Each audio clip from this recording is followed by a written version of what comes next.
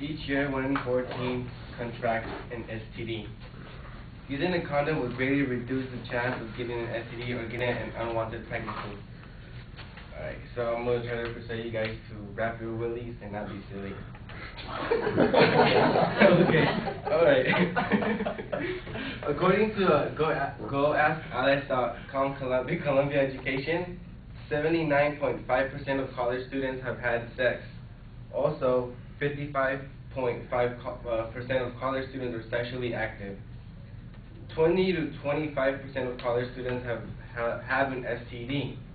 So according to this statistic, that means that one out of four in this classroom has an STD. Pretty scary, huh? Alright. um, having unprotected sex can result in an unwanted pregnancy or an STD. Using a condom can help both of these. So the first thing I'm going to talk about is teen pregnancy. Uh, according to uh, teenshelter.org, approximately 1 million teens get pregnant a year. This consequences in around 520,000 births and 505,000 abortions and 80,000 miscarriages. Okay. Okay, according to Guttmacher Institute, nearly half, nearly half, nearly, nearly half of teens, uh, for exactly 46% have had sex at least once at the age of 15. Only 13 have had, only 13% have had sex. Wait, wait, oh, I got double wrong. Okay, at the at the age of uh, 19, I mean, they have had they have had sex. Like nearly half of them have had sex. And at the age of 15, only 13% have had sex. So by the time they reach their 20s, 7 out of 10 have had intercourse. High quantities of young adults have, uh, have had sex at least once around the age of 17, and they also don't get married till the, their late 20s. This implies that young adults are at risk for getting an unwanted pregnancy for nearly a decade. Condoms will greatly reduce this chance. It isn't hard to get a hold of a couple of condoms. They sell them to anyone that asks for them. They are found at nearly all the small convenience stores around your neighborhood. If you don't use any kind of protection to prevent a pregnancy, and say you have sex with your boyfriend slash girlfriend, and you still use the pull-out method, uh, you still have a 90 chance, 90% chance of getting your girlfriend pregnant for that year. Uh, the good news is condoms are the most used protection. It is used by 71% of all males, and a statistic and 66% of females have used it. Also, this statistic was done by the University of Columbia. 72% of, of most teen pregnancies are, are, are unplanned. They mostly occur at the age of 17 and 19.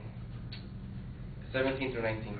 The United States has the highest teen pregnancy percentage, twice as high as New England, Japan being the lowest. Nearly half of teens who get pregnant and do not and do end up having the baby go on welf- go on welfare within the year. All this can easily be prevented by just simply using the condom. Now the worst part of having unwanted of ha- uh, the worst part of having unprotected sex is getting an STD slash STI. As if getting as if getting an unwanted pregnancy isn't bad enough, getting an STD can actually kill you if if you if you're untreated. It is estimated that there are about 65 million people living in the United States with an STD. Every year there are about 19 million new cases of STDs, but some which are curable. Condoms will greatly reduce the chance of you getting an STD because the rubber is made out of polyurethane, polyurethane, which helps which helps protects you from many STDs, but not all, so beware. Best way to avoid an STD is to not have sex at all, which I doubt it'll happen.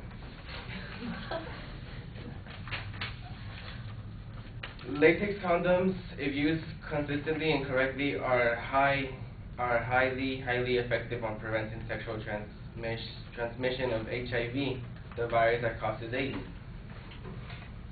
Uh, using condoms lowers the risk of women getting cervical cancer. Uh, condoms will protect you from many sexual transmitted infections such as gonorrhea and chlamydia. So my point is using condoms can help you avoid any of these problems. So if you're not so if you're not going to wrap it, go home and. That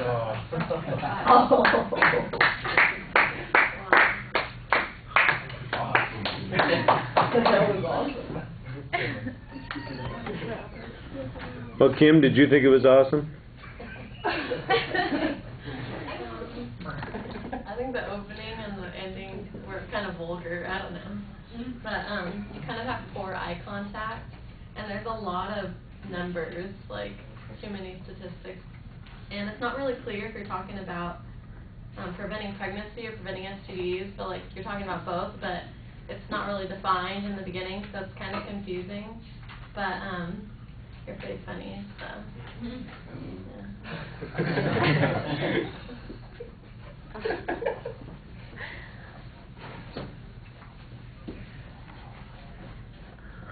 All right, I, I kind of agree with the vulgar thing. You know, I you can get away with a little bit, but I'm not sure that I want my thesis statement to be the vulgar statement that you've got. You know, that that's I think a little a little problematic. Um, maybe save it until you've gotten the speech set up a little bit more. I think you need a stronger setup of what the structure is going to be. You've got a lot of statistical information, I agree, but I think the statistics need to be in aid of supporting points, and your points are not as clearly structured as they ought to be. They're not uh, well laid out. There's not any, you know, motivation. Uh, emotional appeals on this except for the you know the jokes and I think that you need to have uh, a little bit more to uh, pull people in on this the it sounds like the problem that you're talking about is the failure to use condoms. That condoms are the solution to the problem sounds pretty reasonable. Why is it that people aren't using condoms if this is the case? I'm thinking about all those 532,000 kids or whatever the number was that you were talking about that were born, you know, from uh, unwanted pregnancies last year, and I'm going, okay, so what is it that those people did they not know? Did they not understand? Did they just decide that it, you know, they're gamblers? Uh, you know, did they? I, I don't know why it is that somebody would be in this situation. And I think that that's really where the subject of your speech ought to develop a little bit more. There's, know, that we have a problem with uh, STDs or with unwanted pregnancies. That's pretty uh, easy to document. That condoms are a solution to that. That's I think, uh, pretty straightforward, or at least a, a significant uh, solution to that. But uh, why it is that people are not uh, acting on this, I think that's the bigger issue, and I think that's where you're going to need some work. The presentation is problematic. You are reading. Wait, I mean, this is the end of the term, and you're reading everything. Uh, you, there's almost no eye contact with the audience you do have a little bit of humor in your voice, but there are some pronunciation issues that come along because I don't think you've rehearsed enough. You've got uh, swinging feet frenzy when you watch the tape or you know the stuff on. You'll see it. You know what you're doing with your legs. It's just all way out of control. And you've got more time, so there's more that you could have done with the speech it's a, a pretty reasonable topic. You've got some information in the speech. It just needs to be put together and practiced, I think, a lot more. All right. Thank you, Carlos.